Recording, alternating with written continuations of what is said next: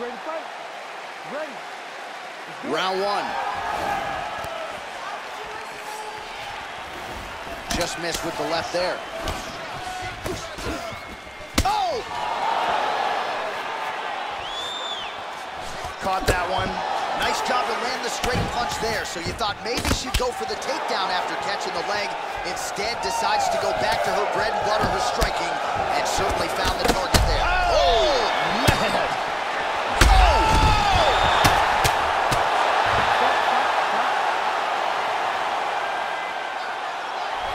Beautiful strike here to end the fight early in the first.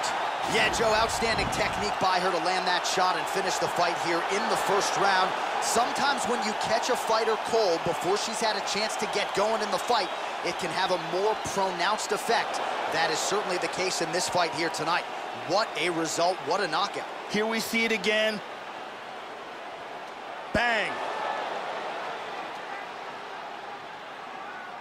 Here is Bruce Buffer with the official decision.